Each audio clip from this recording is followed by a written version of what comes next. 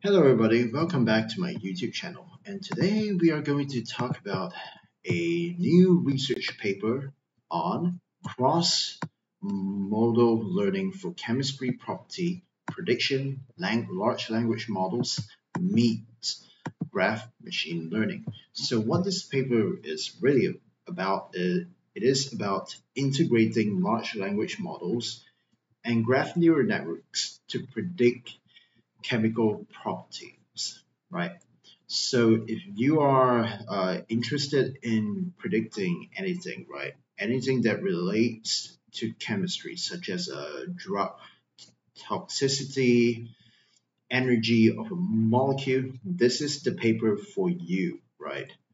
Um, so yeah, and it's also directly related to my area of research. So why don't we take a look into the abstract for now, shall we?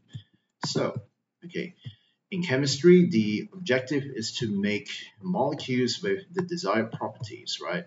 So, the, so if you're right, so so better it be in like material design or drug design. This is typically what you want to do, right?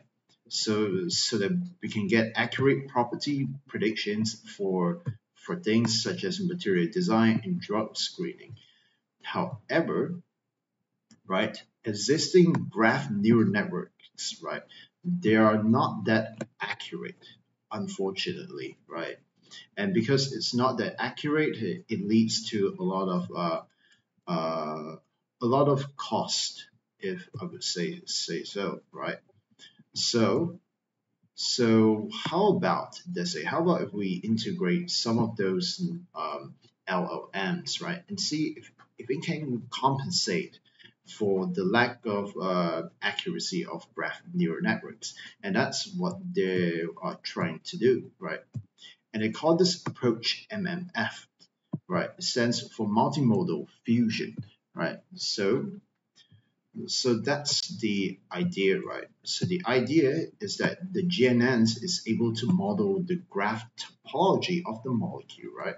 Whereas we can combine and we can combine the zero shot and few few uh, few shot of the LMs, right? Output, and if we combine them together, we should be able to make the entire model generalizable across unseen um, test set, right? So, so yeah, yeah, and it also addressed the problem of the distribution changing over, over time. So perhaps this large language model approach can help in solving that or or helping out in some cases. Okay, so this is a NeurIPS paper. Uh, it's a workshop paper uh, and it's quite long, but but let's go to the the conclusion first. Okay, if there is one right here, there should be a, a conclusion somewhere around here. Um, there's a lot of results. Okay, let's see if the conclusion offers anything new because it usually doesn't okay, right, it it doesn't, right? It just does not, but that's not really a problem. Okay, so so let's just get straight into the introduction right now, shall we?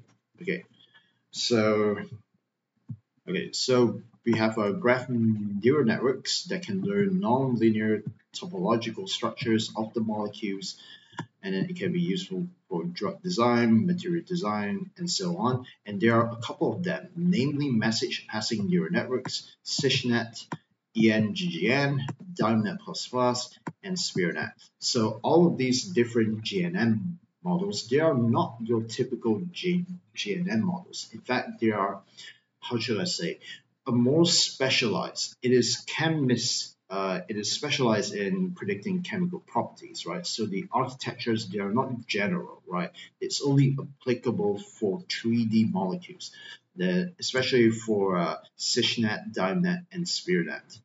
But what they are trying to say is that, yes, they are specialized, but they are often um, but they often have, have these um, underlying issues, right, such as low accuracy and um, it has over squashing and over smoothing, right? Right. So over smoothing is when the the atom node representations converge to the same representation values, right? And in in that case, right, the neural network cannot distinguish what atoms are what, right? Because all of them become the same thing, which is something that you do not want in your neural network, right? But as for over squishing, right, if I can allow myself to ask an expert here, right, so GNN over squishing, sorry for the spelling, could be wrong, but either way. Okay, so over squishing is is when the important information is excessively compressed as it propagates through the layers of neural networks. Yeah, so so it's something like over smoothing, right? But but in this case right here, the more layers the information passes through, the more of its crucial information gets diminished, right? It gets com compressed in general, right? So so typically in order to combat these problems, you would only want your neural network to be like two layers, three, three layers, and maximum is like six layers at most, right? But LLMs, on the other hand, doesn't suffer this same issue. In fact, it is able to, in fact, it is able to expand up to like hundreds of, of layers and, and a lot of parameters in general, right? So it would be nice if we can use our LLMs uh, instead of GNNs for molecular property predictions because of that um, mathematical structure, right? So here here they say LLMs have revolutionized NLP, and and there's a lot of um, multimodal learning, right, alongside with with like chain of thought, right, few shot in context learning, those are some prompt engineering strategies that you can use to make the LMs work better for your tasks. Right. And uh yeah, and I don't need to go go through each and one of the of the prompt strategy because um you will see it in just a second, right? So yeah, so obviously the application of foundational LLMs, right, is already being explored like like a lot of times already. But the fact that what is surprising, right, and I checked this before, is that there's not much work being done in like predicting molecular property using both LLMs and GNNs, right? So in this paper, this is their um, their way of doing it, right? For the first time, they say. So, okay. So what the LLMs can offer is that it can encode molecular information explicitly, right? Because they already have have, have this uh, molecular insights in molecular chemistry, right? Then there should be a way to use it to, to, to compensate for the weaknesses of uh, GNNs. So, okay, and that's what they aim to do. So right now, let's go straight ahead to the methods here.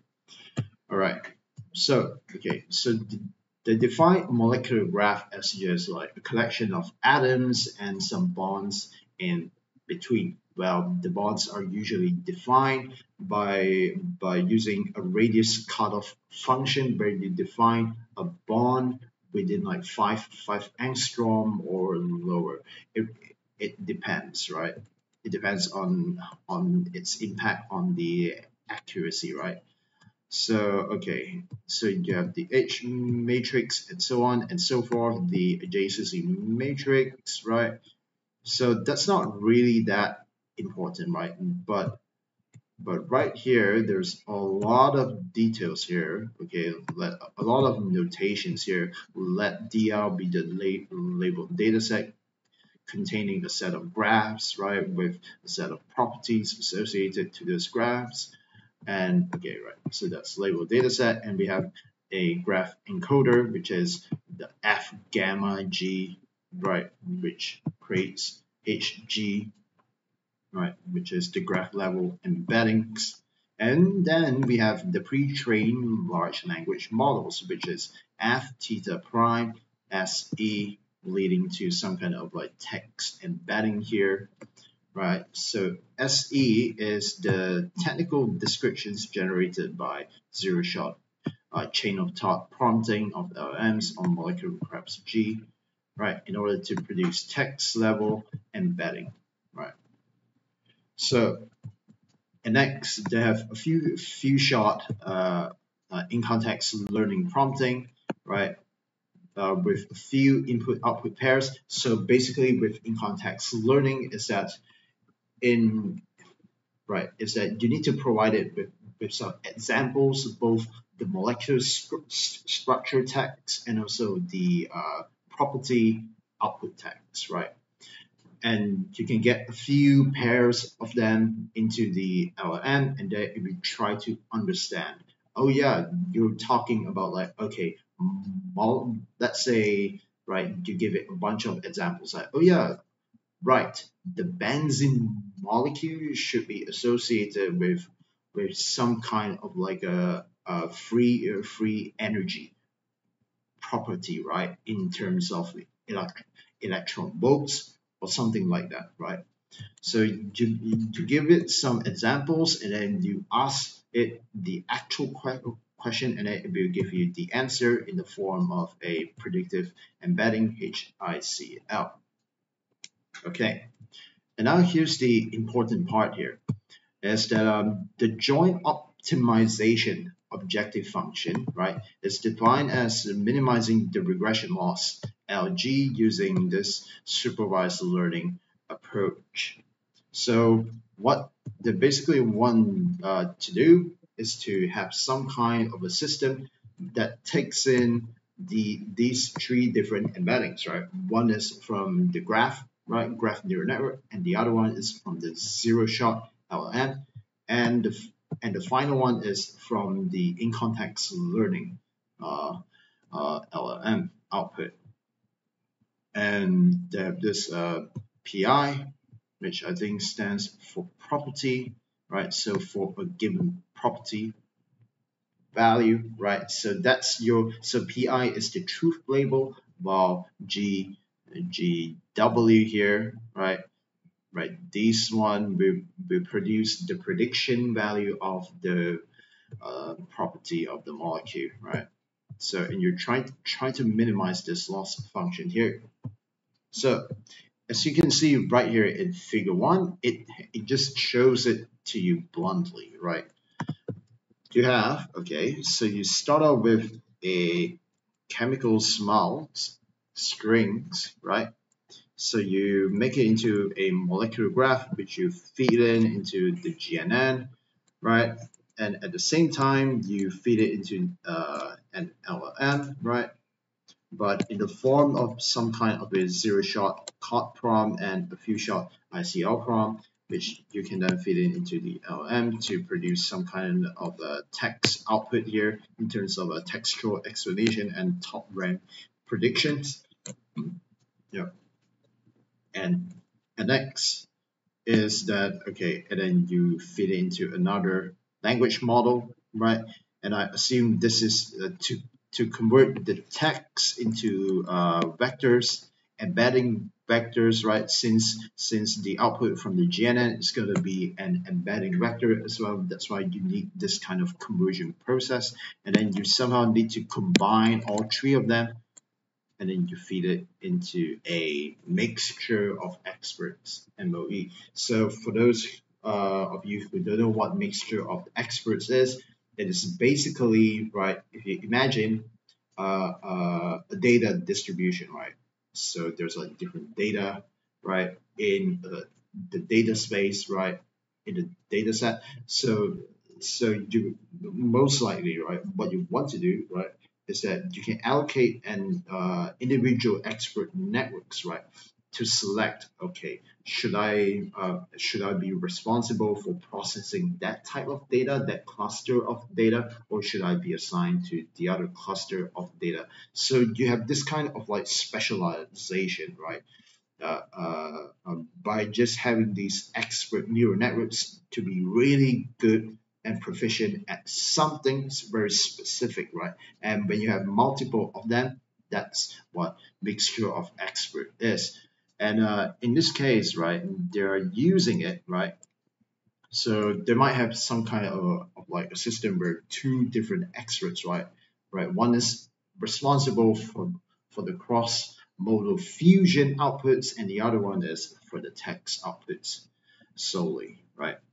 And when you combine, when you take the average or the, or the sum of the experts output, that's your final molecular property prediction value. But let's read a bit closer here, okay, shall we? So, okay, uh, our framework uses, okay, LLMs, blah, blah, blah. Okay, firstly, it introduces semantic fusion strategy that that leverages zero-shot um, along with the GNNs. Okay, I already talked about that, and it also incorporates uh, in context learning, right? Okay, and to say this helps uh, to so that we don't need to explicitly fine tune on labeled data, right? So there are no gradients going through the LLM. It's all frozen.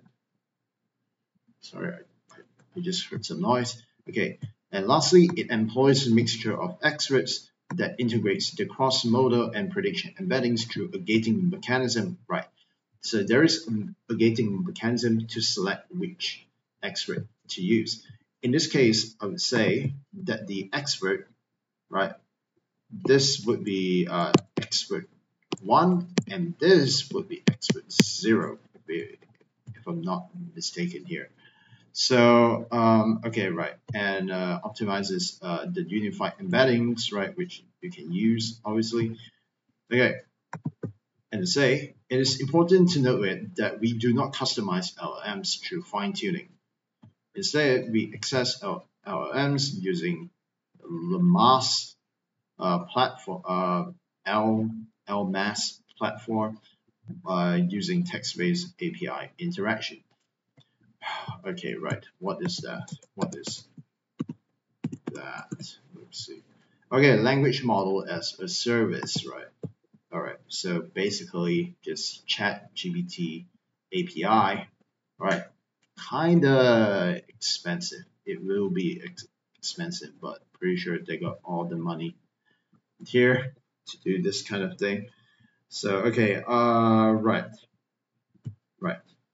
Right now, they're going to specify what kind of uh, graph neural network they're going going to use, right? The LLM is cool, but we still need solid GNN to work with. And yeah, and this is what they're using right here. So instead of your usual graph convolutional neural network, right, they're using uh, this newer approach called graph Chebyshev. Okay, is it called Chebyshev? Mm, let me check. Pronunciation. Chebyshev. Chebyshev is it called shabby shit? Uh, huh, let me see. No, sorry, man. I'm going on YouTube right now. Rahsia kelembutan buatku. Little gentle care. Okay, sorry about that. We are looking at how to pronounce these names as well as how to say more interesting and often confusing Russian name. Make sure to stay tuned. But once you know, we are Chebyshev. But once you know, Chebyshev. Chebyshev. Okay, right. So it's called Graph Chebyshev. Okay, so uh, Graph Chebyshev convolution. Right. Okay. So whatever that is, right? So so uh, graph convolution Chebyshev. Chebyshev. Okay, right. It's a scalable alternative to spectral convolution that offers locality in capturing local graph-based features, flexibility in approximating spectral properties, and scalability through recursive Laplacian computation. Look, this is really complicated, right? Uh, oh, okay, I will admit this kind of stuff, it requires more time to un un understand. And this is my first time looking through this paper. So let's see if the details are that important in this case, which I don't think so. Because the novelty of this approach really is about the LLM, not really about this uh, a new graph neural network, right? But either, either way, okay, if you are interested in it, please do check out the paper. Um, okay, and the equation for that graph convolution operation is this right here. I'm not going to go through that because if we were to do this, it would take quite some time to like un understand all, all of it. But here, okay, right. So assuming it creates some kind, let's treat it as a black box for now. Okay, so okay, in summary, the layer-wise differential neural operator maps discrete graphs to a node-level uh, embedding matrix HGCC, right? That maximally captures both topology and feature information embedded within the graphs. We perform global graph pooling using set-to-set algorithm. Okay, so for those of you who do not know what set-to-set -set algorithm is, it is basically kind of like uh, uh, an, an encoder decoder transformer, right? But it is more like treating the, the tokens in an unordered state. It's kind of like, yeah, you basically take a set, right, of, of, of tokens where the order doesn't really matter and you create and you output another set containing some kind of like process information, right? And and typically it is a pooling method, right? So you are transforming a set of objects into a smaller set of objects with that pooling mechanism using set to set, right? So, okay, but now here's the important part.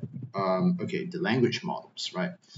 So, okay, so and to say L LLMs adopt a pre-train, prompt, and predict approach, right? And it's pretty good at that.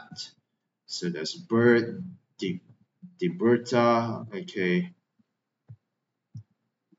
Right. So obviously with with uh, encoder-based LLMs, right? Right here, right? Yeah, it doesn't have those reasoning uh, capabilities, right?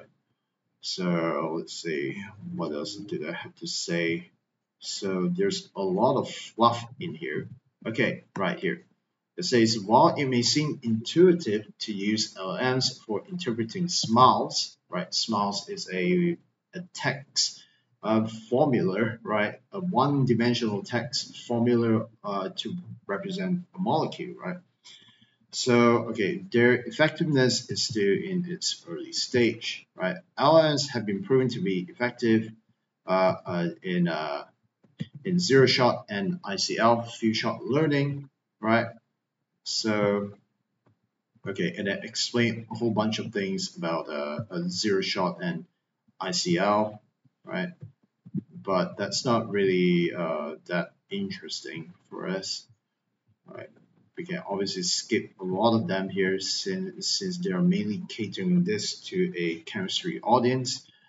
But I would assume you, you guys should already know that, right? If you don't know, please do check out some other YouTubers video. I don't cover that here, sorry.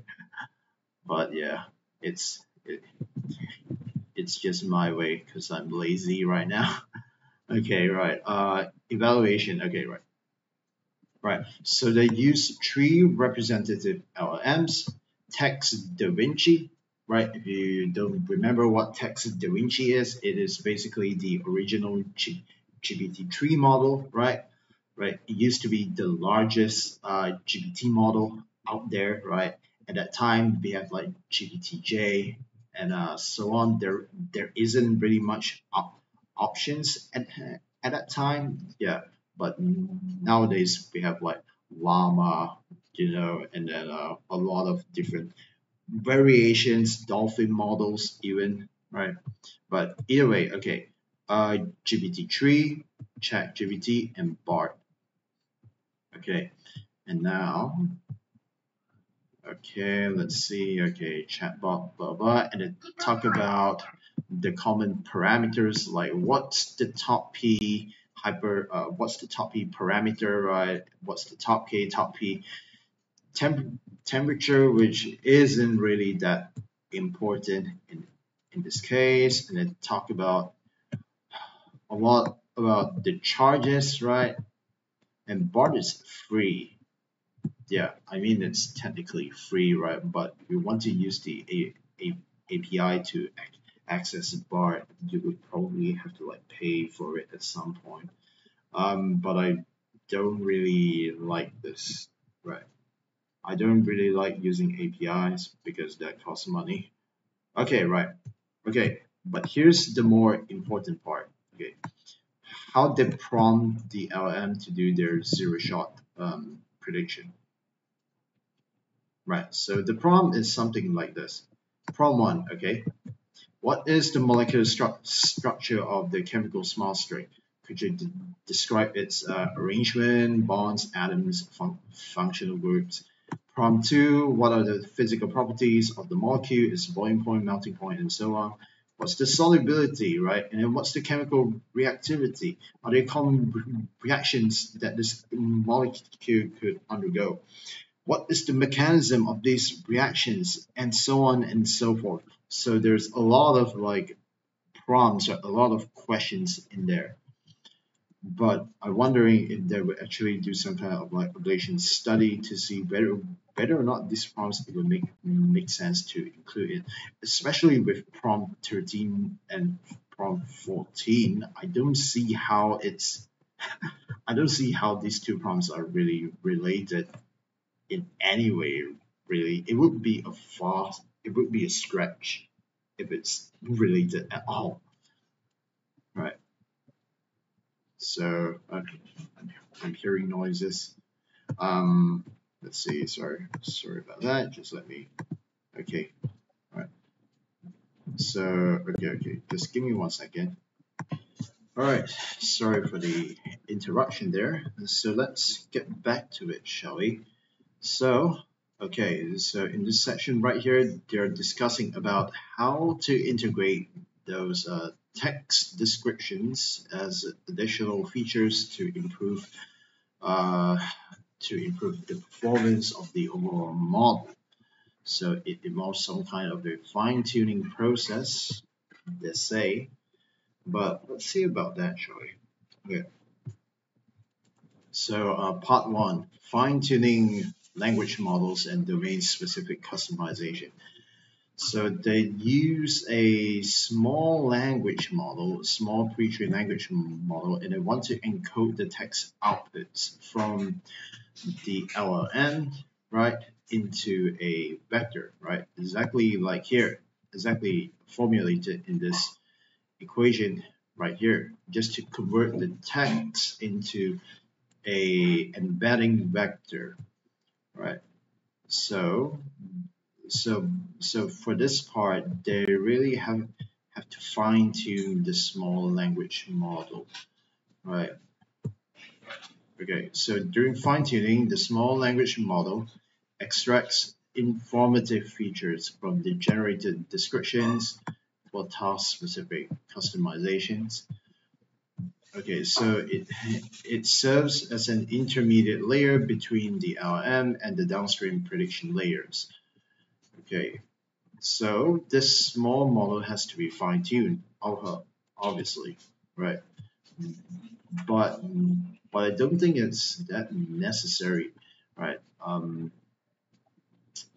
I mean, because like there are there are things like a sentence BERT which you can immediately use without any kind of fine tuning. So I, I wonder about that. Okay, but either way, right? So you you can generate a contextualized embeddings, right? Where m represents the number of tokens, blah, blah, to encode the, the explanations into a fixed length vector, they apply softmax attention pooling mechanism to calculate the weighted sum of the token embeddings. Okay, uh, this results in a comprehensive representation of the, of the entire text description. Yeah, so uh, so essentially, but if you're using a sentence uh, BERT, this is not really necessary.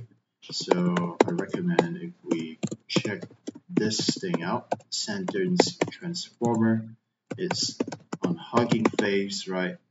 If we use this, then then we don't necessarily have to do this this kind of work at all. So that we can bypass this fine-tuning process.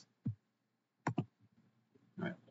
So okay but anyway right? And to say oh yeah, h the uh, of the text explains uh, enhances explainability by um okay so basically it, yeah it's just text anyway mm.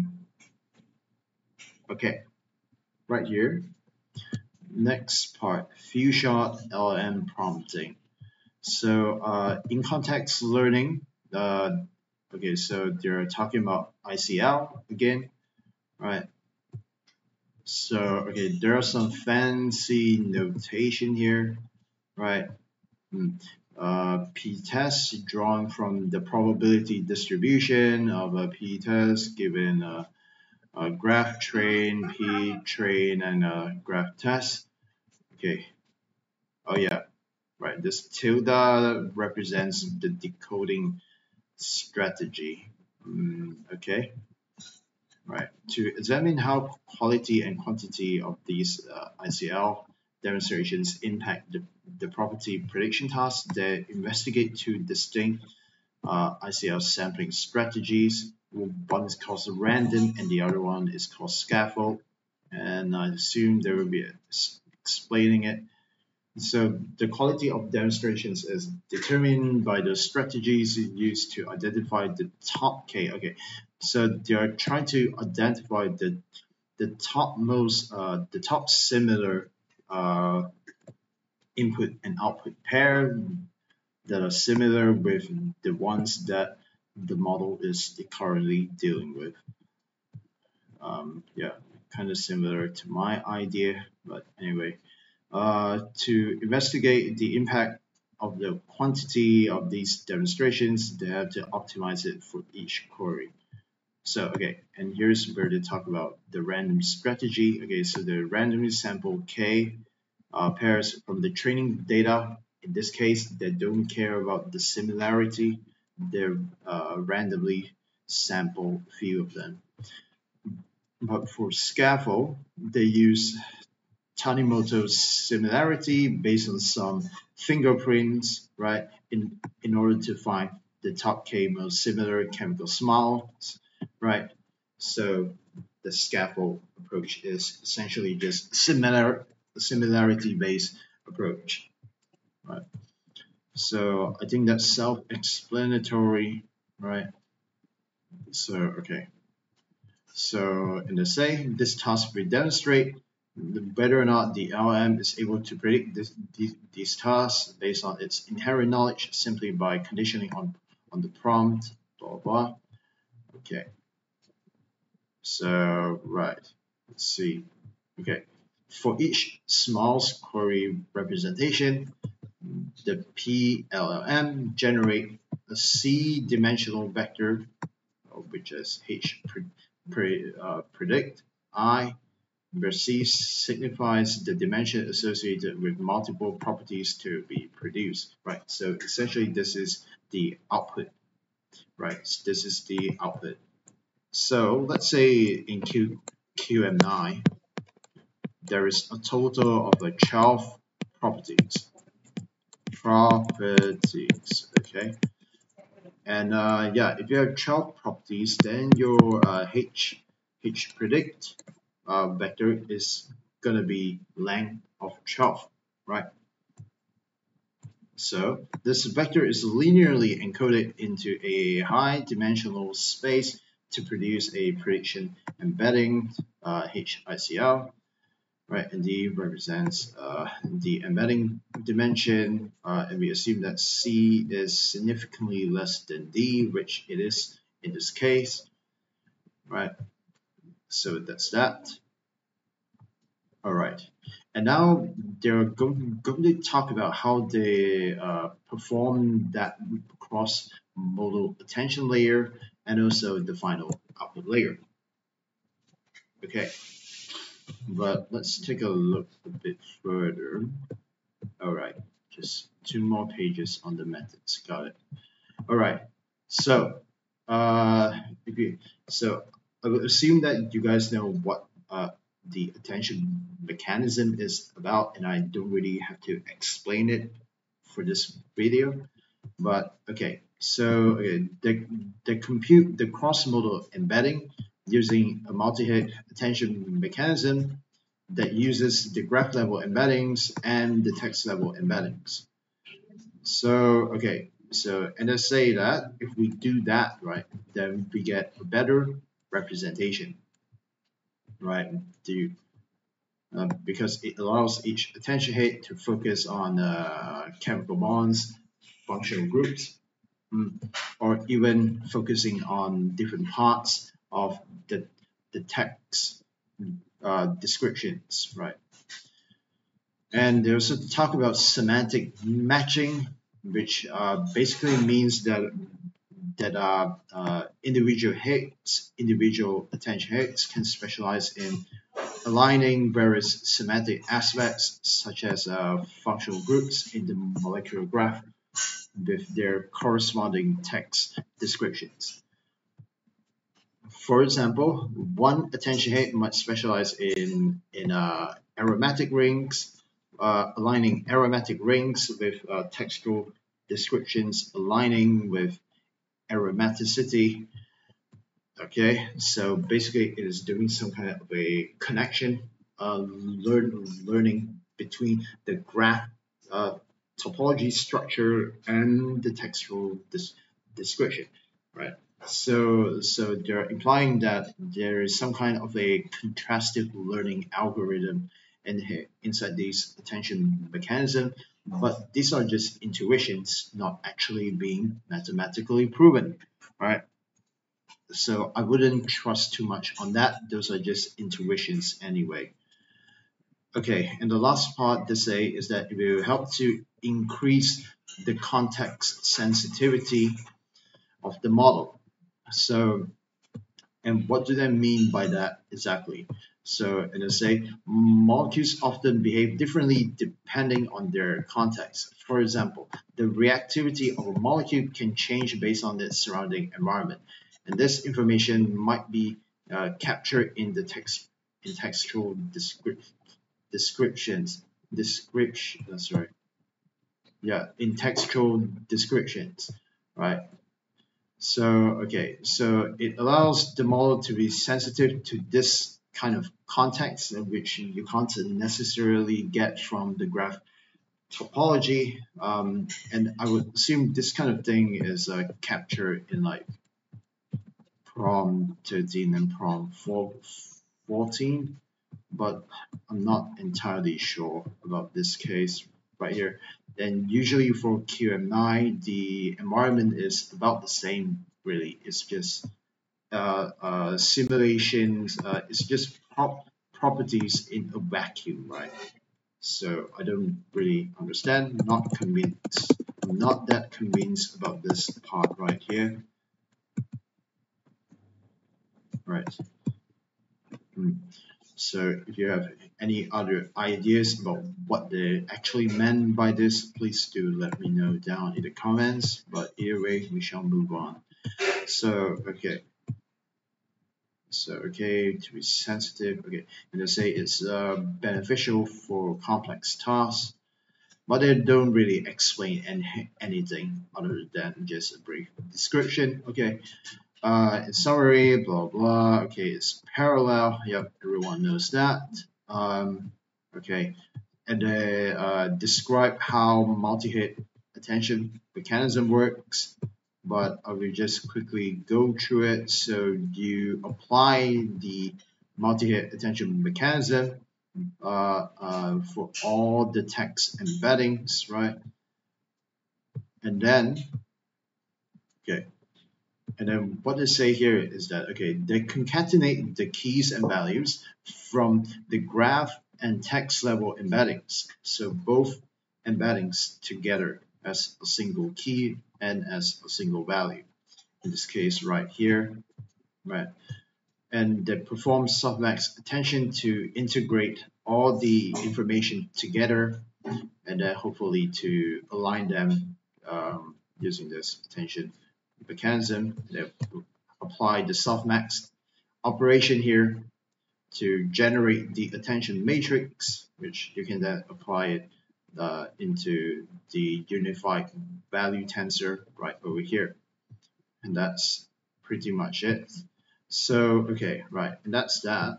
But for the output layer, they use mixture of experts uh, with a gating mechanism, right? So yeah, and then provide a brief description about what the uh, uh, MOE mechanism is, right? So, so in here, they say each embedding, either cross-modal embeddings uh, from the attention mechanism or the prediction embeddings from the few shot prompting aims to maximize its contribution to, to the final prediction value, right? So, okay, so yeah, and it talk about how the gating uh, um, mechanism allocates weights based on the individual information, right? So, so if it finds out that the information from the LLM, uh, from the few-shot LLM is more useful than the cross-modal information is, it will allocate more weights to that, right? And and and that's exactly what I predicted here. So in that case, right, it would be, okay, so, so the gating function, so the gating mechanism is, is essentially by starting off with uh, uh, the, the creation of a gating vector, right, right, which then you can then, uh, uh, okay, a weighting value called G which then you can uh, apply it to either the ICL embedding or, or this HFI embedding, and then you can do some kind of a weighting operation, right? So obviously, the higher the value G is, the more contribution is going to come from this HFI term right here to contribute towards the final prediction output. And that's MOE uh, uh, in this case, but this is a very old school uh, approach for MOE, but but it works in this case, so that's fine. Um, all right. Okay, and it talked about a whole bunch of things here about the data sets, which uh, in this case, it's not really that important and it's bloated. It, there's a lot of fluff in there. So, okay, we're just gonna skip a ton of these things. Okay, let's skip some of them here. And let's get right into the meat of the results here. So, okay, uh, table two. Okay, so this is the experimental results of the framework's performance on QM8 dataset in comparison to the baseline algorithms in terms of mean absolute error metric, right? So the lower the mean absolute error, error is, the more accurate the models are. So in this case right here, we see that their approach, right, is clearly outperforming everything else in terms of uh, accuracy, right? So the lower the MAE is, the better it is, right? And uh, yeah, and they use 16 different input output pairs uh, for the in-context learning prompt, right, which is reasonable. Um, and and I'm not so sure if they stated what kind of GNN they use in this case. I would assume it's gonna gonna be uh, a GG, uh, sorry, uh, a GCC, right? It's gonna be GCC, but I'm not seeing it around here, uh, which is pretty concerning. Hmm, I couldn't find it here. Okay, this is kind of bad already. And also the fact that there's like 16 different properties, right? But these are just the averages of the errors. So maybe it's in the supplementary. We have to find out. But this is for Q QM8. Okay, so I'm just gonna ask where is the uh, G GCC model, right?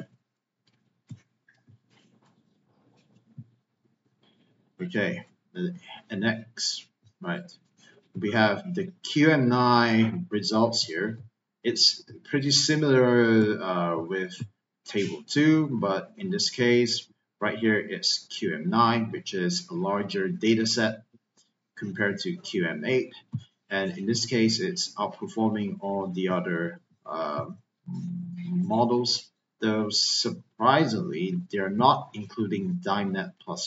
They're not even comparing it against the current state of the art.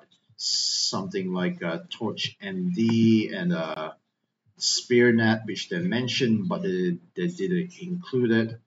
And most importantly, they didn't even include uh, GCC, right?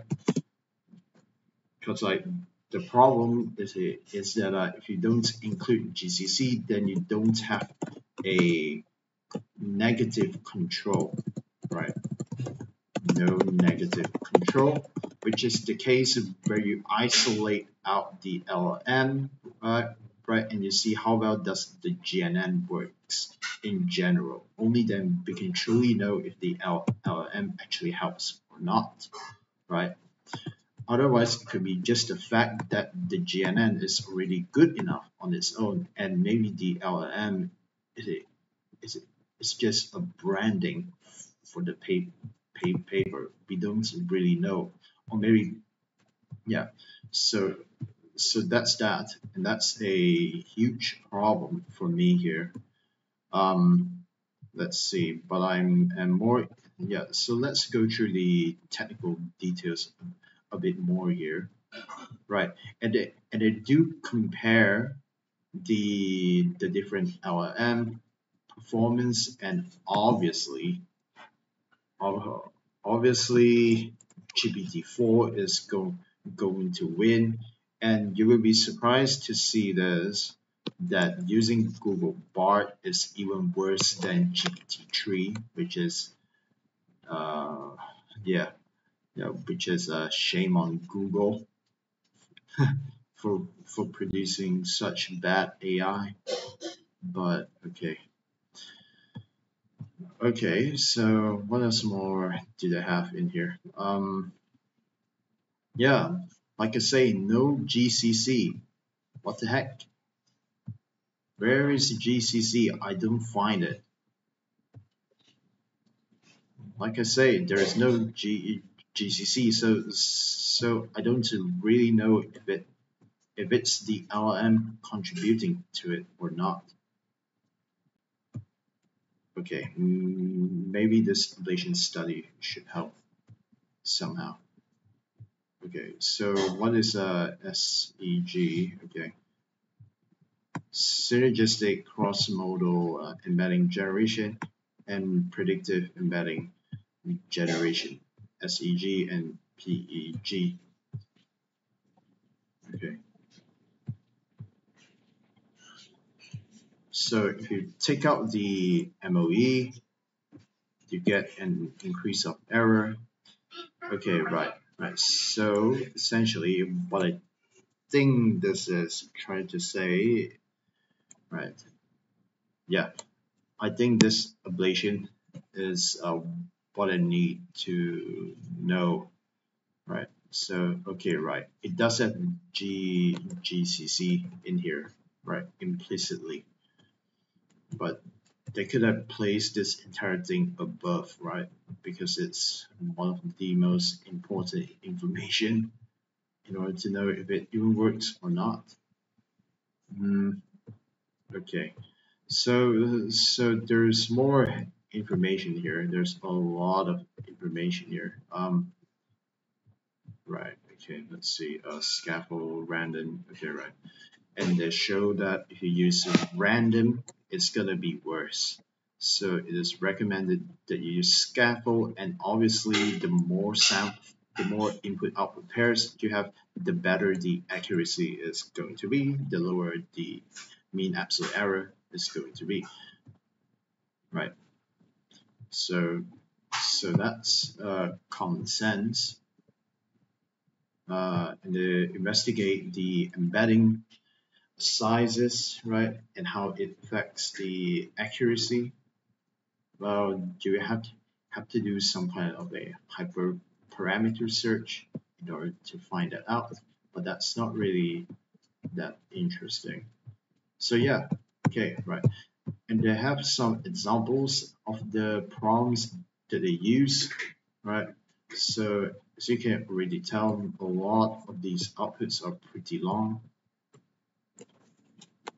right? So it's like a whole, it's like two passage worth of words, right? So it's pretty long and I have to, yeah. So I would say this is a very expensive approach to improve uh, the the accuracy of molecular property prediction.